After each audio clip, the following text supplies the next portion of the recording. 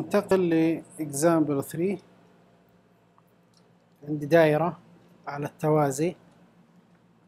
وعندي نوعين من المصدر. مصدر اللي هو current source وعندي هنا current source لكن الفرق بينهم هذا مستقل وهذا غير مستقل. هذا يعتمد قيمته.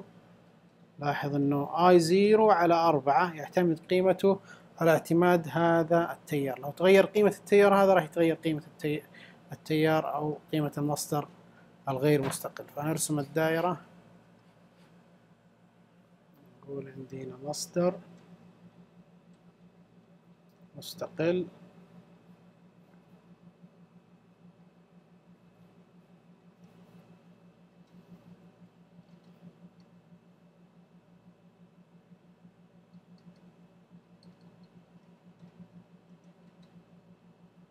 هذا اتجاهه.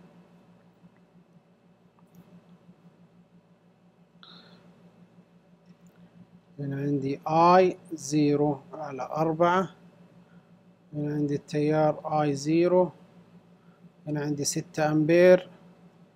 هنا قيمة المقاومة اثنين أوم plus minus V zero هنا قيمة المقاومة اللي هو ثمانية أوم. طيب.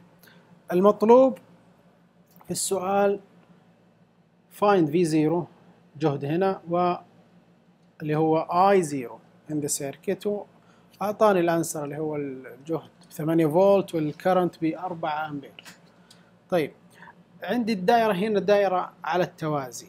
دائرة دوائر التوازي دائما لها خصائص. الجهد ثابت في آه، أي فرع موازي لفرع آخر. يعني الفرع هذا يوازي هذا ما في هنا لا عنصر هنا ولا عنصر هنا. من هنا النقطة هذه النقطة هذه أو من النقطة هذه لهذه يوازي هذا يوازي هذا يوازي هذا. ولاحظ عندي هنا مس... آه، اللي هو تيار مستقل فيجب تحليل الدائرة. أوكي. إذا اللي هو حللت الدائرة بالشكل الصحيح يسهل علي حل أي دائرة. okay. لو ما حللتها بالشكل الصحيح راح تكون صعبة جدا إني أحل الدائرة. فلاحظ إنه 6 أمبير هنا فريحني الآن هذا التيار اللي نابع من المصدر. فعندي هنا I معروف قيمته اللي هو 6 أمبير. راح يوصل لهذه النقطة راح هنا يتفرع يتفرع I zero وراح يوصل للنقطة هذه راح يتفرع اللي هو عندي اللي هو آه، اللي هو مصدر تيار غير مستقل هنا. طيب وراح يكون في عندي هنا تيار. كذلك خليني أسميه I مثلا I V مثلا I 2 I 3 I 4 أي أي مسمى. okay. فعندي هذا التيار وصل للنقطة هذه تفرع هنا. ما يحتاج التيار هذا أعرف قيمته. لأنه في النهاية راح يتفرع هنا وهنا. فالتيار هذا يساوي التيار هذا زائد التيار هذا زائد التيار هذا. okay. وراح يجتمع لاحظ إنه نفس الاتجاه. هذا وهذا وهذا يساوي هذا التيار. لو كان هذا التيار معكوس اتجاهه يعني للأعلى فراح أقول هذا التيار يساوي هذا ناقص هذا okay؟ يعني راح يكون هذا عكس الإشارة. راح يكون هذا كذا وراح يتفرع هنا وهنا أوكي؟ وراح يكون اتجاهه مختلف. راح يكون هذا الآي يساوي هذا ناقص هذا وهذا اللي هو إذا حسب وضعية الدائرة وإذا كان فرضته للأعلى أو الأسفل لكن يختلف يعني يختلف الحل. يعني لو فرضت أنه هذا التيار اتجاهه بهذا الطريقة راح يكون التيار هذا يجي هنا النقطة هذه يتفرع يمين ويسار وهذا التيار هنا راح يجي هنا وهنا. كيف الغلبة راح تكون أكيد للتيار أو المصدر الأعلى.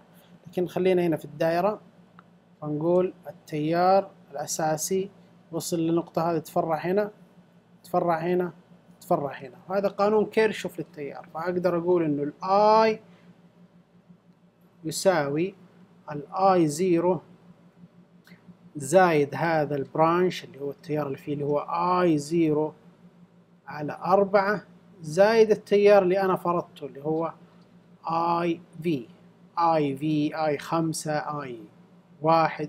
مختلف عن أهم شيء مسميات اللي هنا. فنقول I V okay. طيب هنا عندي ال I معروفة قيمتها ستة. هذا هو المجهول. ما عندي إشكالية. فهنا قيمته معلومة هنا مجهولة هنا مجهولة نفس الشيء يعتبره. هنا لازم أحل الإشكالية هذه. عندي ال I V أعرف أنه آه، التيار اللي يمر هنا يساوي هبوط الجهد اللي هو V0 مقسوم على المقاومة. مقسوم على المقاومة. فأعرف أنه هذا ال I V يساوي من قانون أوم V0 على R اللي هو ثمانية. على ثمانية. برضو نفس الشيء. عندي مجهول I0 وعندي مجهول V0 طيب. لو بحثت في خصائص اللي هو دوائر التوازي آه راح أجد علاقة في الدائرة هذه ما بين هذا الجهد وما بين هذا الجهد. السبب أنه متوازي على التوازي. يعني هذا يوازي هذا يوازي هذا. فإذا هذا يوازي هذا وهذا يوازي هذا قطعا أنه هذا توازي مع هذا راح يوازيه. لأنه هذا يوازي هذا وهذا البرانش يوازي هذا. فهذا راح يكون جهده أو هبوط جهده نفس هبوط الجهد هذا. يصير عندي ال V0 يساوي هبوط الجهد على اللي هو 2 أوم.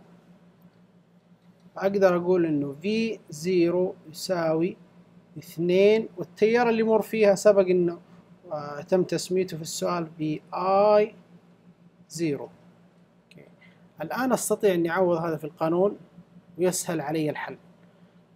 أوكي خلينا نسمي هذه معادلة واحد. أوكي وهذا نقول معادلة اثنين. أوكي فنقول المهو اللي هو معادلة اللي هو equation 2 نعوض فيها في equation 1 فنقول i معروف قيمته إنه ستة. فنقول ستة تساوي i 0 i 0 على أربعة زايد i v نعرف إنه هو اللي هي v 0 هي نقول ثمانية وفي زيرو نعرف إنها من من اللي هو معادلة اثنين إنه ال V zero إنها اثنين I zero. الآن نختصرها. هذا تروح اثنين على اثنين هنا أربعة نقول ستة تساوي I zero. I zero على أربعة. وهنا راح تكون زايد I zero على أربعة. كذلك نفس الشيء. طيب لو جمعناهم وحدنا المقامات آه هذه هذه مجموعهم راح يكونوا نقول ستة يساوي I zero هذا نجمعهم اثنين مقامهم واحد يصير اثنين I zero هذا يروح باثنين اثنين واحد. على اثنين باثنين نضرب الطرفين باثنين عشان نتخلص. من هذا راح يكون عندي هنا اثناعش. اثنين I zero زايد I zero. بالتالي يعني ثلاثة I zero. تصير عندي ال I zero تساوي اثناعش على ثلاثة وبالتالي تساوي أربعة أمبير. فعندي التيار يساوي I اللي هو أربعة أمبير. طيب ال V zero سبق إني حسبتها اللي هو تساوي اثنين I zero. I zero حسبت قيمتها اثنين في أربعة وبالتالي ثمانية فولت. انتهى كذا الحل. أوكي. فال answer اللي هو اللي موجود عندكم هنا اللي هو الجهد طلب V zero بأربعة فولت اللي هو عفوا بثمانية فولت هذا هو الثمانية فولت. وال I zero بأربعة أمبير اللي هو سبق وحسبناه. طيب ننتقل للسؤال اللي بعده. Example. Example 4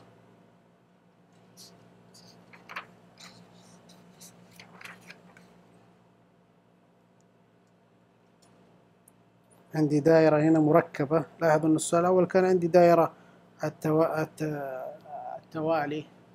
بعدين دائرة التوازي الآن دائرة مركبة. uh, find the current and voltage in the circuit shown in figure اللي هو 2.27 يبغى التيار I1 I2 I3 V1 V2 V3 يعني يبغى كل شيء في الدائرة. جميع التيارات وفرق الجهود عندي مصدر. نرسم الدائرة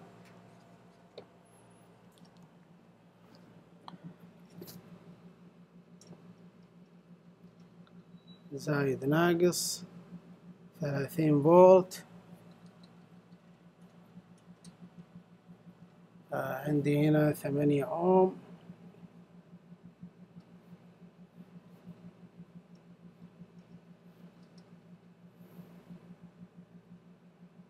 ثلاثة أوم زايد ناقص في تو هذه كلها فرضيات أعطاني إياها.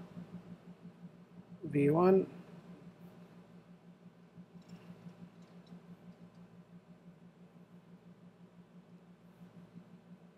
ستة أوم زايد ناقص في ثري لاحظ في في الدوائر ودائما أنبه الطلاب عليها اللي هو دائما افهم الدائرة وحللها قبل ما تبدأ بالحل. لأنه ممكن تبدأ بالحل وتقع في يعني يعني تسلك مسار في الحل خاطئ وتضيع الوقت ويكون تصحيح الخطأ غير ممكن لأن الوقت ما ما, ما يسعفك لتصحيحه. قد يكون اختبار في وقت اختبار أو في فدائما حلل الدائرة قبل ما تبدأ. عندي هنا مصدر. لاحظ إنه المصدر أكيد عرفت خلاص إنه الاي 1 نتج عن المصدر ما في شيء ثاني خلاص. وصل للنقطة هذه تفرع عندي والله I 2 و I 3 أكيد إنه التيار إذا مر في مقاومة ينتج عنه فرق جهد. والله ابتدى بالموجب والسالب تمام متوافق مع التيار. هنا ال I 2 ابتدى بالموجب والسالب. أوكي. هنا بالموجب والسالب. أعرف إنه الجهد V 3 يساوي V 2 لأنه على إيش؟ على التوازي. فأختصر بدل ما أحسب أنا والله التيار هذا I I 3 أو أستطيع إنه إذا حسبت ال V 2 إني أحسب أعرف إنه يساوي ال V 3 وأعرف وأستطيع إني أحسب ال I 3 مباشرة يعني. أوكي. فتحليلك للدائرة و و و ورسم حل في في ذهنك قبل الحل يسهل عليك أمور كثيرة. طيب آه، في البداية أفضل حل عشان أحسب قيمة التيار المصدر دائما دائما حساب اللي هو المحصلة كاملة للمعاوقة أو للمقاومة. هنا ما أقدر أقول معاوقة ما عندي دائرة اللي هو فيها ملف ومكثف مثل الدوائر التيار المتردد. لا عندي هنا مقاومات فأنا أحسب اللي هو ال R total R total أول شيء. ال R total. عندي R total هنا أكيد اللي هو آه هنا R 1 لأن نعتبرها V1 هنا R2 هنا R3 فأقول R1 و R2 و R3 R2 و R3 اللي هو على التوازي أكيد يعني.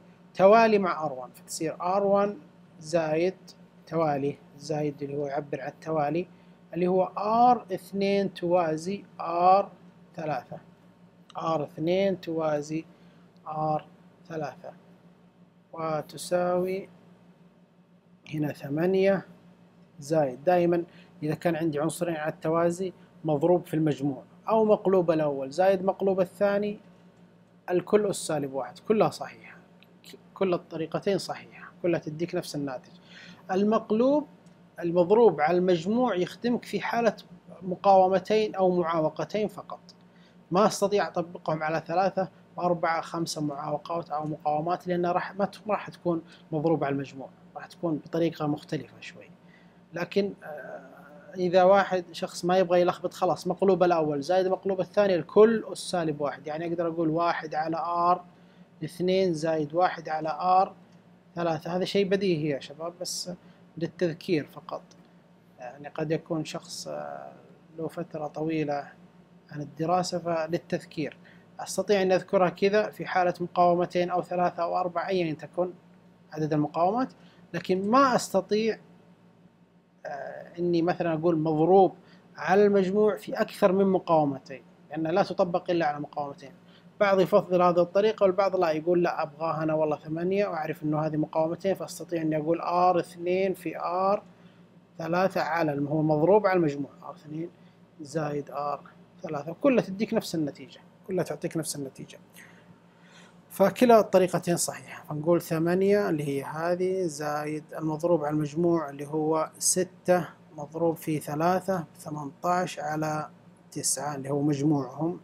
فهذه ثمانية زايد اثنين بعشرة أوم.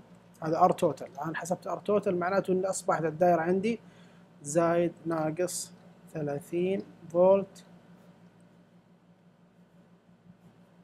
R T تساوي 10 أوم.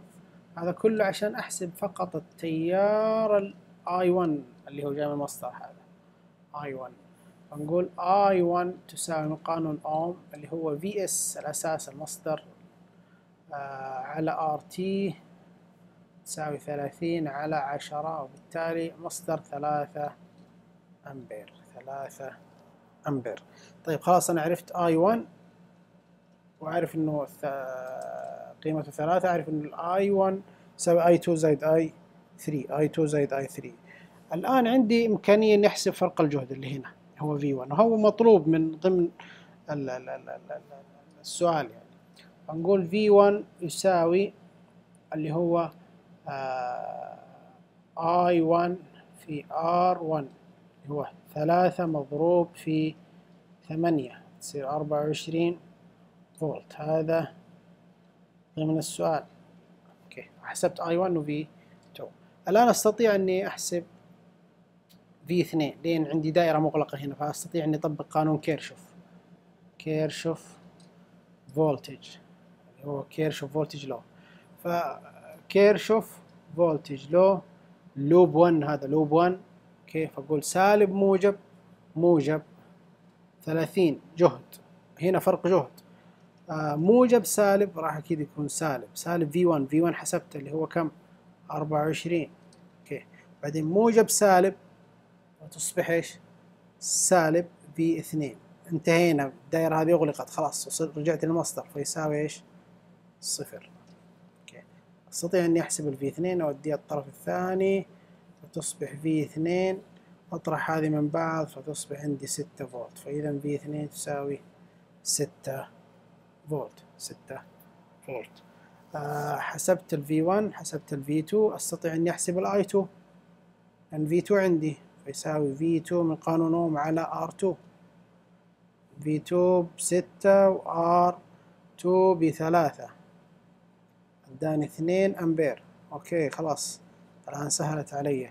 I1 ثلاثة و V1 بأربعة وعشرين. و I اثنين حسبتها باثنين أمبير وحسبت كمان اللي هو V اثنين. فأكيد إنه ال I ثلاثة يساوي المتبقي I 1 بثلاثة وال I اثنين باثنين. أكيد إنه I ثلاثة ب اللي هو بواحد أمبير. ف I ثلاثة أكيد إنه يساوي I 1 ناقص I 2 ثلاثة ناقص اثنين بواحد أمبير. وبالتالي V ثلاثة تساوي هو يساوي أتمنى يكون واضح.